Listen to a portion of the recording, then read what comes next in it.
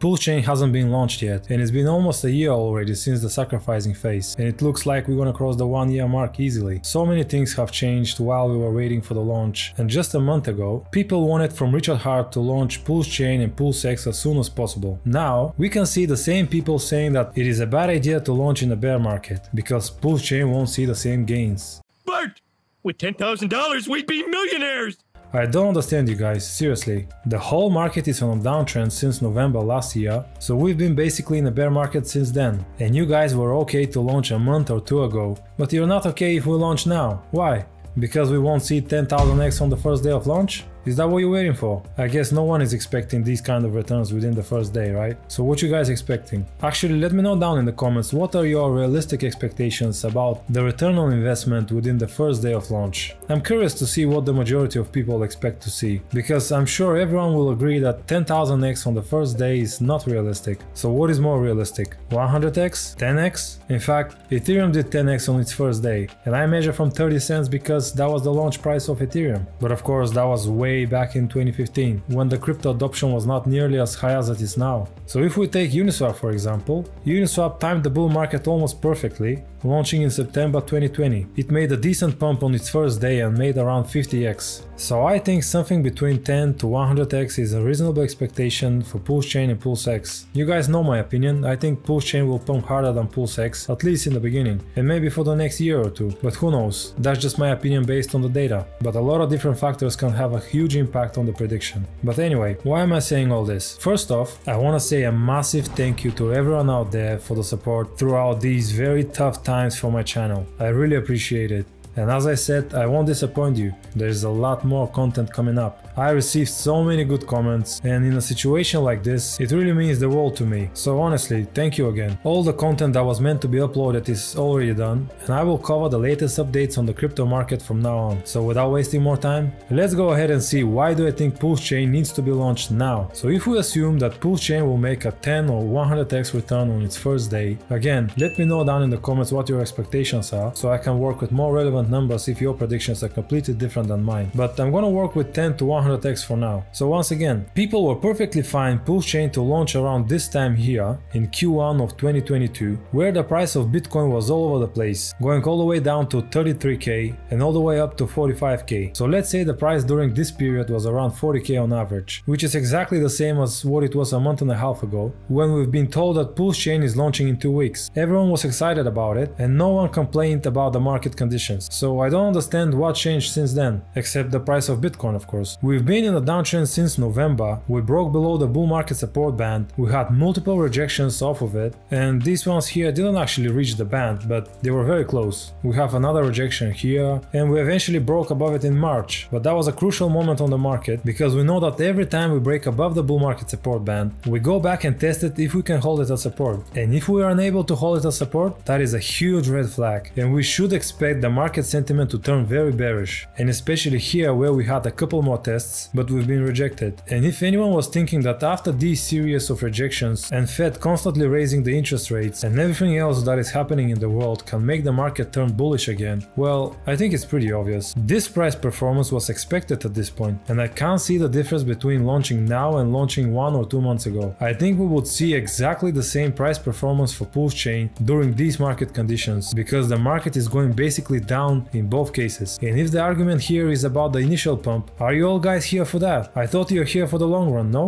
Of course, who doesn't want to make some quick 10x or so, but I don't know why do you think that during these times 10x was likely and now is not likely? You know that in order for the price to move up, people have to put their money into the coin, right? So that means cash position. If people had cash on hand here and believe in the project, they were going to invest, right? It's the same down here. People who want to invest in Pulse probably still keeping their cash for the launch. And if you now say that, but they probably lost some of their money because the market crashed even further, well, you want the launch to be delayed even more and the price will keep going down. You know that. So this doesn't make sense to me. And of course, I'm saying that Pulse Chain needs to be launched now, but this is only if Richard Heart is delaying the launch on purpose because of the current market conditions. If the devs are actually doing some stuff and they are not ready to launch it, it's common sense that it has to be launched when everything is done. I know that Richard Heart said in his last live stream that the devs are still fixing this and that, but he might say this on purpose, who knows. He might just wants the market to turn bullish again and throw the blame on the devs in the meantime. I'm just speculating, but all in all, I just wanted to clarify that I think this way only if the issue is the market conditions. And I also want to clarify that I don't claim that I knew what was going to happen when we were over here. I didn't know if we will go above the bull market support band and keep trending higher, or if we will go into a long bear market like how it looks like right now. That's why I never said that back then, but this is actually my main pillar for the opinion that I have. No one could say for sure back then what exactly will happen next, and that's exactly how it is right now. No one can say how long this bear market will last. We can only speculate with the data, but this doesn't mean anything. Back in Q4 of 2021 and Q1 of 2022, the data was suggesting that we will keep trending down, and that was our general assumption, but no one could say for how long, what the price would be today or tomorrow, and what we should expect in the short term. And basically, the situation is like this. We are in a bear market, the Fed will keep increasing the interest rates probably until the end of the year,